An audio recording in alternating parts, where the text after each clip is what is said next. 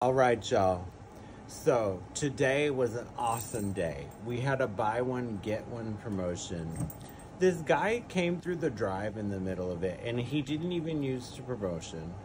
He came up and when I answered, he said, Yes, ma'am, I need a coffee and I need cream on the side, on the side, and I need five raw sugars on the side, on the side and he went off with his order. And then his poor wife, which I can't imagine being seen with this man, I need a nice coffee. And I was like, Do you want cream? Yes, yes, of course, cream, but I want sugar on the side. Okay, do you want the classic syrup inside the coffee? Yes, yes, the, that plus the sugar on the side. Okay. And I said, Okay, sir, thank you. And he's like, Thank you, ma'am. He came to the window.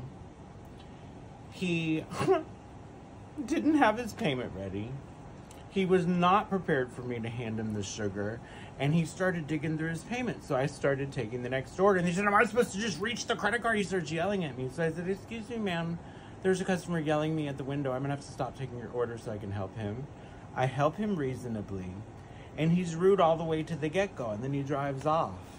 And I thought, gosh, some people don't know how to control their own demons like I feel bad for this wife with this guy, but it was a funny experience and it was at the end of the day and of course it happens after I agree to stay an hour later. That's when the rudest people come. It's when you agree to stay, you do something nice, and then you get some weirdo whack job that just comes to harass you through the window. But everyone was surprised how composed I was. And I said, that's like every guest at the Austin store that came and harassed us every night. That was nothing. And I just on the inside wanted to laugh. And I'm like, that poor guy has to live with himself knowing that he's just rude to people for no reason. But people are silly. I still love customer service. And I love all the cool people who are nice. And I hope you have a great day. Happy Friday. I just thought it was a funny story.